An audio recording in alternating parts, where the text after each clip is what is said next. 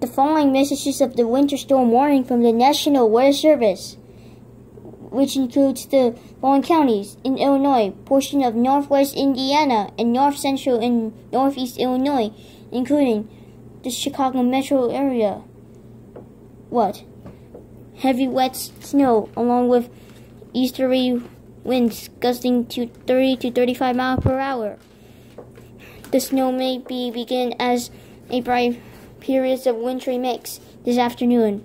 Total snow accumulations to 5 to 9 inches and localized higher possible. Where? Has, when? From 3 p.m. this afternoon to 6 p.m. Central Standard Time, Sunday, with the highest impact this evening. Impact. Travel could be very difficult due to the low visibilities and snow-packed roads.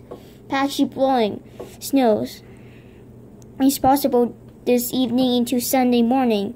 Power outages are also possible. If you must travel, keep an extra flashlight, food, and water in, in your vehicle in case of an emergency.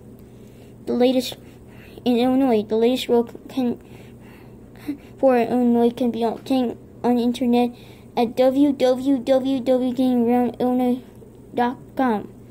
In Indiana, the latest road for Indiana are available by calling 1-800-261-7623.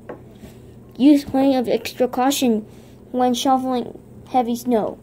Stay hydrated and take frequent breaks.